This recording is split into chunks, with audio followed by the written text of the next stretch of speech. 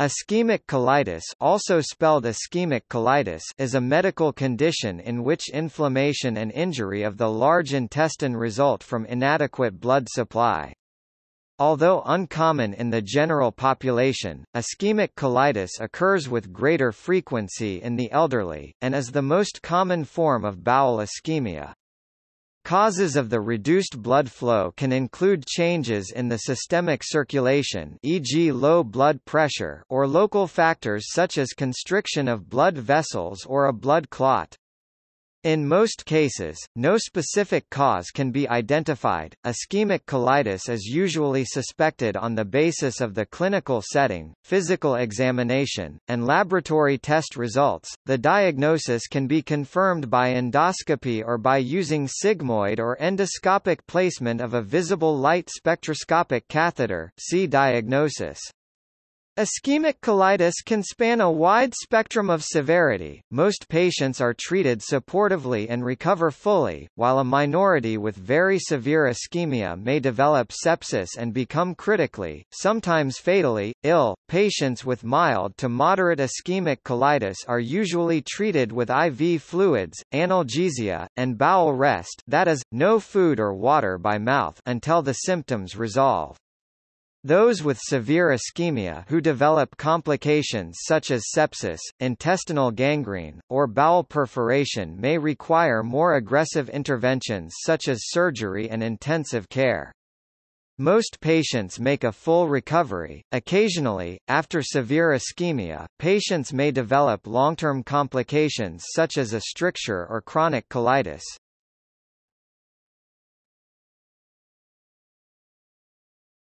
Topic: Signs and symptoms. Three progressive phases of ischemic colitis have been described. A hyperactive phase occurs first, in which the primary symptoms are severe abdominal pain and the passage of bloody stools. Many patients get better and do not progress beyond this phase.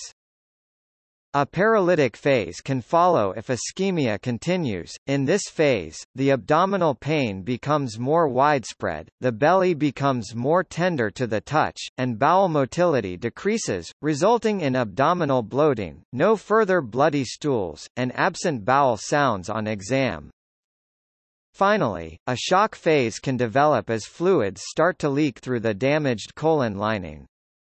This can result in shock and metabolic acidosis with dehydration, low blood pressure, rapid heart rate, and confusion. Patients who progress to this phase are often critically ill and require intensive care. Symptoms of ischemic colitis vary depending on the severity of the ischemia. The most common early signs of ischemic colitis include abdominal pain often left-sided, with mild to moderate amounts of rectal bleeding.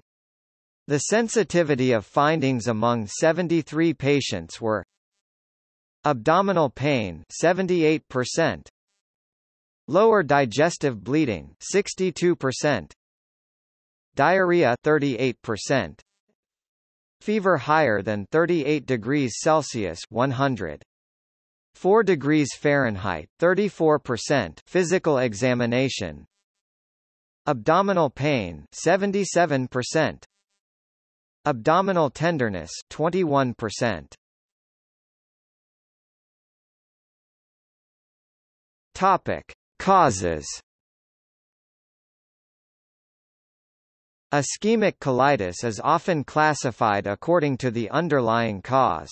Non-occlusive ischemia develops because of low blood pressure or constriction of the vessels feeding the colon. Occlusive ischemia indicates that a blood clot or other blockage has cut off blood flow to the colon.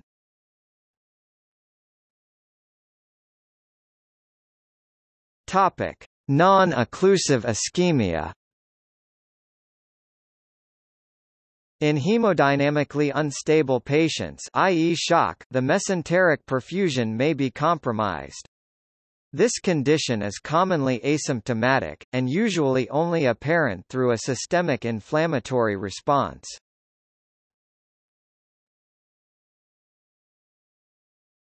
Topic. Occlusive ischemia mostly the result of a thromboembolism. Commonly the embolism is caused by atrial fibrillation, valvular disease, myocardial infarction, or cardiomyopathy. In addition, ischemic colitis is a well-recognized complication of abdominal aortic aneurysm repair, when the origin of the inferior mesenteric artery is covered by the aortic graft. In a 1991 review concerning 2,137 patients the accidental inferior mesenteric artery ligation was the most common cause 74% of ischemic colitis. Thus, patients without adequate collateralization are at risk for ischemia of the descending and sigmoid colon. Bloody diarrhea and leukocytosis in the postoperative period are essentially diagnostic of ischemic colitis. The complication can be prevented through careful selection of subjects that may require replanting inferior mesenteric artery and completing the pre-surgical procedure information with an instrumental evaluation during surgical treatment.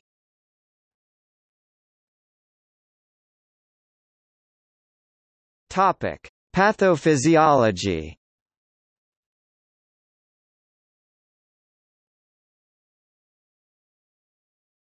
Topic: Colonic blood supply. The colon receives blood from both the superior and inferior mesenteric arteries. The blood supply from these two major arteries overlap, with abundant collateral circulation via the marginal artery of the colon. However, there are weak points, or watershed, areas, at the borders of the territory supplied by each of these arteries, such as the splenic flexure and the rectosigmoid junction. These watershed areas are most vulnerable to ischemia when blood flow decreases, as they have the fewest vascular collaterals. The rectum receives blood from both the inferior mesenteric artery and the internal iliac artery. The rectum is rarely involved by colonic ischemia due to this dual blood supply.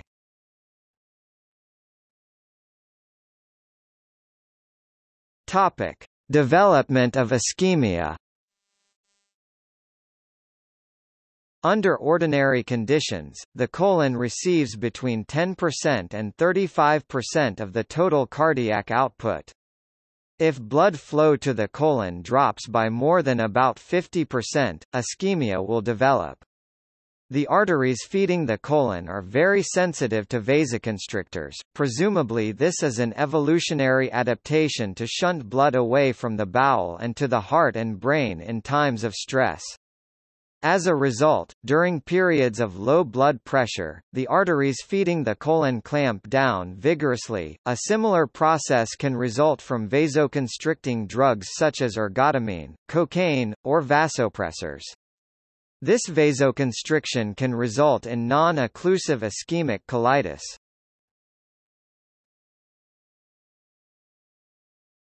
Topic: Pathologic findings.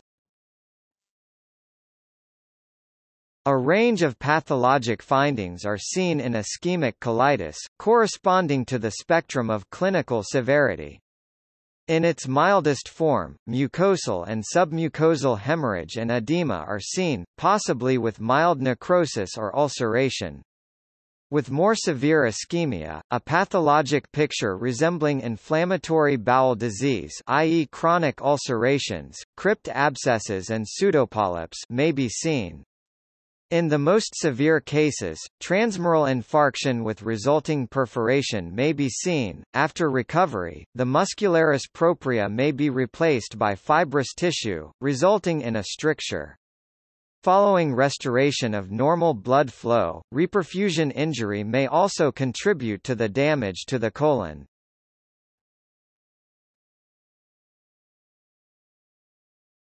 Topic: Diagnosis Ischemic colitis must be differentiated from the many other causes of abdominal pain and rectal bleeding for example, infection, inflammatory bowel disease, diverticulosis, or colon cancer.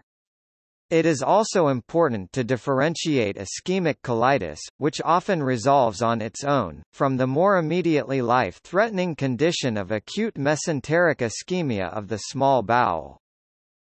There are devices which test the sufficiency of oxygen delivery to the colon. The first device approved by the US FDA in 2004 uses visible light spectroscopy to analyze capillary oxygen levels. Use during aortic aneurysm repair detected when colon oxygen levels fell below sustainable levels, allowing real-time repair. In several studies, specificity has been 90% or higher for acute colonic ischemia, and 83% for chronic mesenteric ischemia, with a sensitivity of 71% to 92%. This device must be placed using endoscopy, however. Topic: Diagnostic tests. There is a recent optical test, but it requires endoscopy see diagnosis. There are no specific blood tests for ischemic colitis. The sensitivity of tests among 73 patients were the white blood cell count was more than 15,000 per cubic millimeters in 20 patients 27%. The serum bicarbonate level was less than 24 mmol, L in 26 patients 36%. Plain X-rays are often normal or show non-specific findings. In a series of 73 patients, plain abdominal radiography 56% showing colic distension in 53% or a pneumoperitoneum in 3%, CT scans are often used in the evaluation of abdominal pain and rectal bleeding, and may suggest the diagnosis of ischemic colitis, pick up complications, or suggest an alternate diagnosis. Endoscopic evaluation, via colonoscopy or flexible sigmoid sigmoidoscopy, is the procedure of choice if the diagnosis remains unclear. Ischemic colitis has a distinctive endoscopic appearance. Endoscopy can also facilitate alternate diagnoses such as infection or inflammatory bowel disease. Biopsies can be taken via endoscopy to provide more information. Visible light spectroscopy, performed using catheters placed through the 5 mm channel of the endoscope, is diagnostic see diagnosis.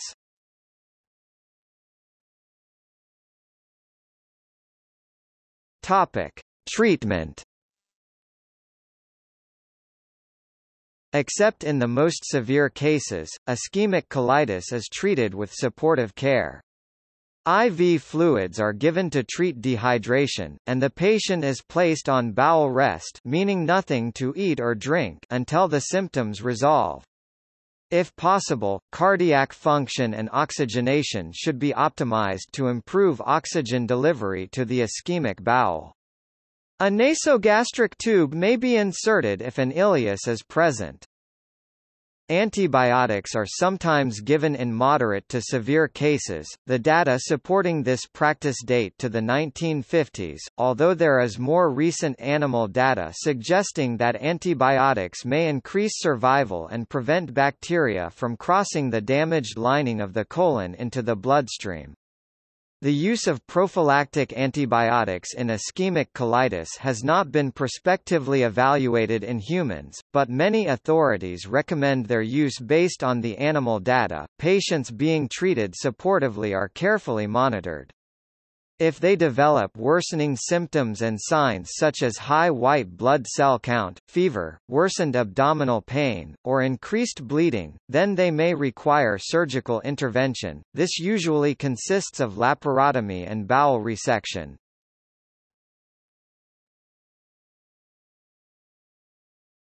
Topic: Prognosis Most patients with ischemic colitis recover fully, although the prognosis depends on the severity of the ischemia.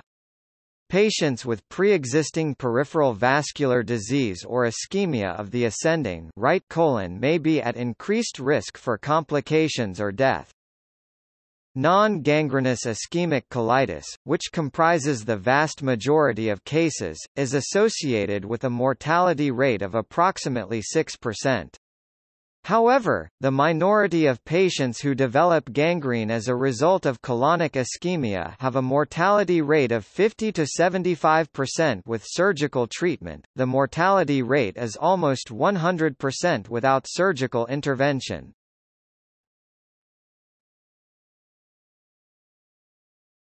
Topic: Long-term complications. About 20% of patients with acute ischemic colitis may develop a long-term complication known as chronic ischemic colitis. Symptoms can include recurrent infections, bloody diarrhea, weight loss, and chronic abdominal pain. Chronic ischemic colitis is often treated with surgical removal of the chronically diseased portion of the bowel. A colonic stricture is a band of scar tissue which forms as a result of the ischemic injury and narrows the lumen of the colon. Strictures are often treated observantly, they may heal spontaneously over 12 to 24 months. If a bowel obstruction develops as a result of the stricture, surgical resection is the usual treatment, although endoscopic dilatation and stenting have also been employed.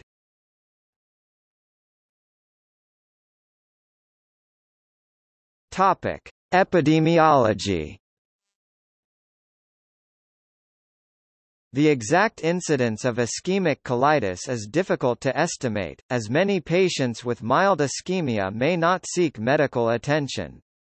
Ischemic colitis is responsible for about 1 in 2,000 hospital admissions, and is seen on about 1 in 100 endoscopies. Men and women are affected equally. Ischemic colitis is a disease of the elderly, with more than 90% of cases occurring in people over the age of 60.